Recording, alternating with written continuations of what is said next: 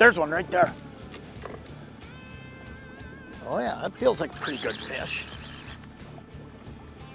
Yeah, that's good fish. Boy, this one just smashed it.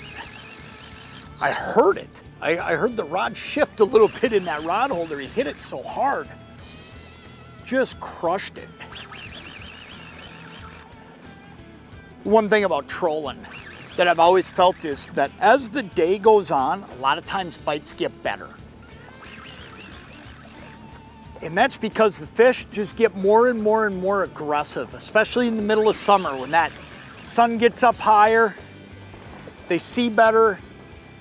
You know, it's warming up up here. I don't know if they really feel anything like that down there, but what I do know is they tend to get more aggressive a lot of times as the day goes on. Don't get me wrong, I'm a big believer in those primetime morning bites, but I'll also tell you that I have seen an awful lot of trolling bites that just flat out catch fire middle of the day. Whether I've been tournament fishing, guiding, or filming, is a pretty big fish. I've seen these things happen where all of a sudden it just lights on fire. And I mean, we're just, we're just flat out catching fish here now. This is fun. This is a good fish here.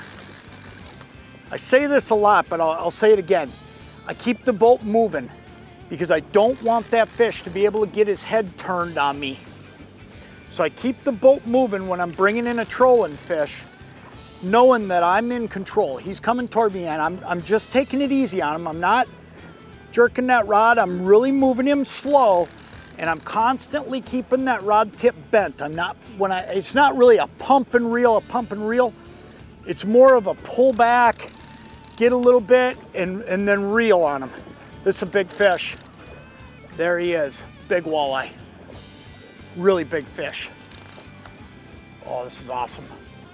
I'll put one more crank there, and then we're gonna see if we can get him. Big fish, big walleye. Look at that, big fish. Oh, that's cool, man. Oh, there he's unhooked right there. In the net, I was just gonna give myself some slack. Now it's not gonna matter. We're just gonna go like this. Let me just see if I can get this fish in here like that. Big fish. Huh, that is cool. What an awesome day of fishing. What an absolute awesome day of fishing and trolling cranks. You throw in a big one like that. How cool is that? That's awesome. That's what you can do with rogues, man.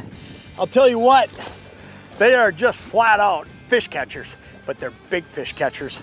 Over the years, I'll tell you, when I've had to catch big fish under the gun, no matter what it's been for, a guide trip, a, a tournament, whatever it is, or TV today, rogues are always, they've always been one of my go-to cranks, whether we are trolling them shallow in the fall or trolling them in a situation like this right here on lead core in deep water in the summer.